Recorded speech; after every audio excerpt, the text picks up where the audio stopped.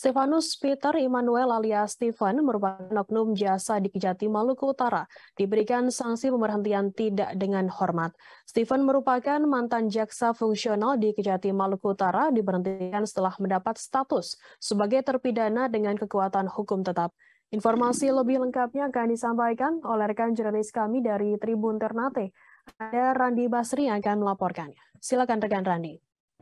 Terima kasih rekan Firda di studio. Memang dari Ternate saya melaporkan di mana ada salah satu oknum jaksa di Kejaksaan Tinggi Utara yang bernama Stefanus Peter alias TV di mana uh, jaksa tersebut diduga terlibat dalam penyalahgunaan kasus narkoba dan uh, hingga saat ini uh, yang bersangkutan secara resmi dilakukan pemberhentian secara tidak terhormat oleh uh, Kejaksaan Tinggi Maluku Utara dan hal ini juga dibenarkan oleh Kasintel Kejaksaan Tinggi Maluku Utara itu Tianto di mana dirinya menyebut dalam uh, kasus ini seorang oknum jaksa terlibat dalam penyalahgunaan narkoba di mana uh, Stephen sendiri ia telah diputuskan di Pengadilan Negeri Ternate di mana dengan tuntutan 10 tahun penjara dan 6 bulan 10 tahun 6 bulan penjara dengan denda 3 miliar lebih.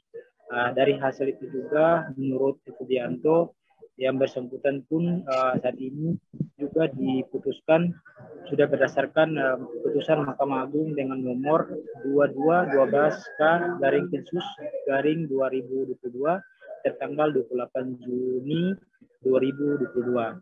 Uh, di mana saat ini yang bersangkutan uh, jaksa tersebut sudah dieksekusi di uh, lapas kelas 2 Ternate dan menurut Efrianto dalam kasus ini di mana uh, tim penyidik melakukan pengimbangan dari beberapa uh, berkas yang sudah dilimpahkan hingga keputusan yang diputuskan secara langsung oleh Mahkamah Agung Republik Indonesia.